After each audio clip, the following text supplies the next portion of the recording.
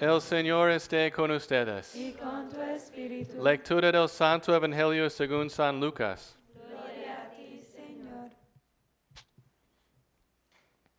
En aquel tiempo dijo Jesús a sus discípulos, Habrá signos en el sol y la luna y las estrellas, y en la tierra angustia de las gentes, enloquecidas por el estruendo del mar y el oleaje. Los hombres quedarán sin aliento por el miedo y la ansiedad ante lo que se le viene encima al mundo, pues los astros se tambalearán. Entonces verán al Hijo del Hombre venir en una nube con gran poder y majestad. Cuando empieza a suceder esto, levantaos, alzad la cabeza, se acerca vuestra liberación. Tened cuidado, no se os embote la mente con el vicio, la bebida y los agobios de la vida, y se os eche encima de repente aquel día, porque caerá como un lazo sobre todos los habitantes de la tierra. Estad siempre despiertos, pidiendo fuerza para escapar de todo lo que está por venir y manteneros en pie ante el Hijo del Hombre. Palabra del Señor. Gloria a ti, Señor Jesús.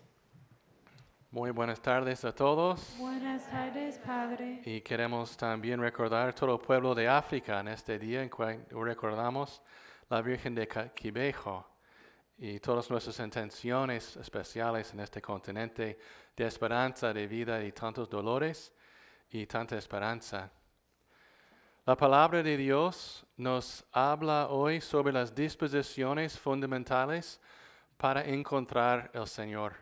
Sobre todo la que seamos vigilantes en la presencia de Dios interiormente. Es decir, prepararnos para el momento cuando vamos a encontrar el Señor rostro a rostro. Y el tiempo de adviento, eh, la iglesia nos da para prepararnos sobre todo para este encuentro final. Cuando Jesús viene para culminar la obra de su Padre y cuando Él va a reinar en gloria suprema y majestad. Y preparándonos para su venida última y final, la iglesia también nos recuerda sobre la primera vez cuando Él vino en sencillez y la pobreza de Belén. Y es el mismo Dios. Qué misterio y qué grande es nuestro Señor. Que el Señor es todopoderoso, también es completamente humilde. El Señor que tiene la majestad también no tiene vergüenza de nacer en la pobreza. Es el misterio de Dios. Y queremos prepararnos para un encuentro final viviendo el encuentro primario. Para vivir el tiempo de Adviento, la Iglesia nos da algunas direcciones, inclinaciones para entender este tiempo. Y sobre todo en las casas, nuestras capillas, tenemos la corona de Adviento. Y la corona de Adviento es, se puede decir, el sacramental de este tiempo.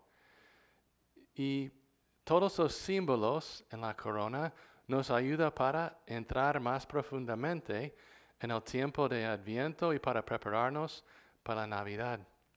Empezamos con la corona que es un cí- círculo. El círculo que es símbolo de Dios infinito, que no tiene principio y no tiene fin. Y este círculo entra en la historia.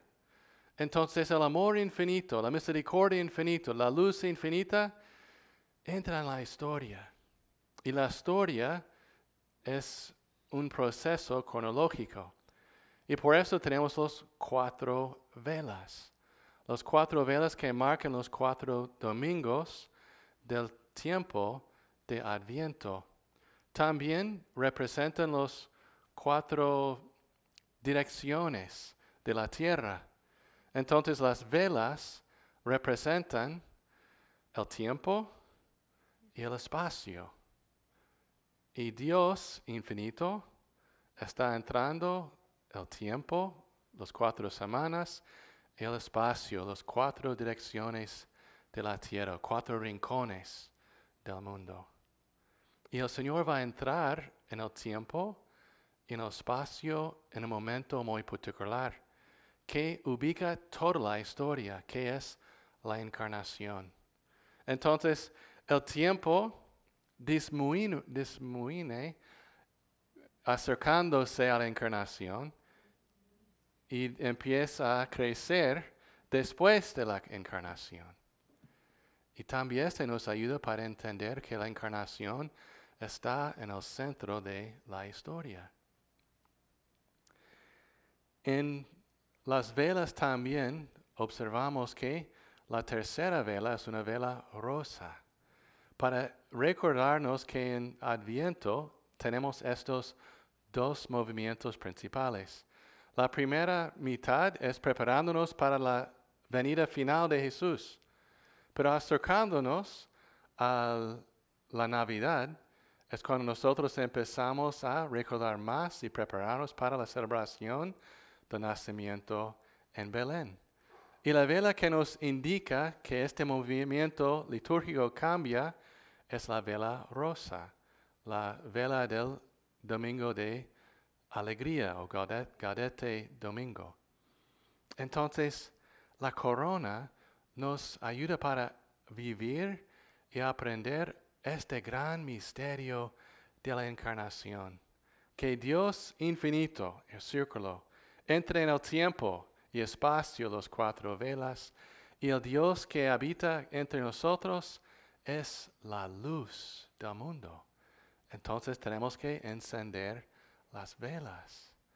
Y recibiendo la luz, acercándonos a la luz, preparamos para encontrar el Señor.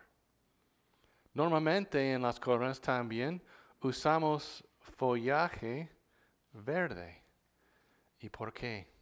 En diferentes países tenemos diferentes estilos de follaje, pero siempre verde, porque verde es el calor de la esperanza y la vida.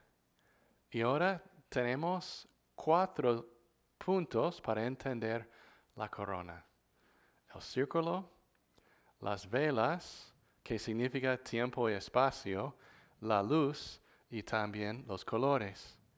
¿Y qué es la quinta dimensión? Porque las cosas bíblicamente y pedagógicamente siempre tienen cinco dimensiones. La palabra de Dios. No se puede usar, no se puede encender la vela en la casa o en la capilla sin escuchar la palabra de Dios. Porque Cristo Jesús, la palabra hecha carne, es la luz del mundo. Entonces, en todas nuestras casas, conventos y parroquias, con la gracia de Dios queremos celebrar la Navidad, prepararnos bien con una corona de adviento, entendiendo y también compartiendo nuestra catequesis estas cinco dimensiones de la corona, para que los demás también puedan caminar preparándonos para encontrar al niño Jesús en Belén. Concluimos con estas palabras de nuestra Madre Fundadora. Adviento es tiempo de espera, tiempo en que se debe fortalecer nuestra esperanza para convertirnos en testigos de esperanza para el mundo. Adviento es tiempo en que esperamos confiados en la visita, en la manifestación de Dios, que se hace hombre para salvarnos. Es el tiempo que la Virgen Santísima espera, añora y obtiene con la potencia de su pureza y de fe y su indivisible amor, por y con su fiat el verbo se hizo carne.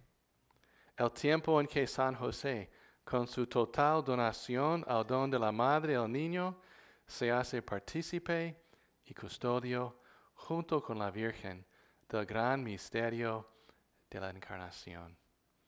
Entonces, este adviento, todos nosotros queremos prepararnos bien para